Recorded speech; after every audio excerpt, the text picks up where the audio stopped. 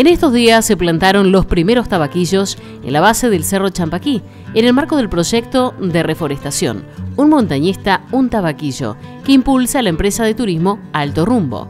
Mariano Berciotti subió desde tres árboles con un grupo de estudiantes. También ascendieron al Cerro Negro. La idea es continuar reforestando con el aporte de voluntarios, que suba con una planta y de a poco que se reconstruya el bosque serrano. En los próximos días habrá una reunión en Santa Rosa de Calamuchita para sumar voluntarios.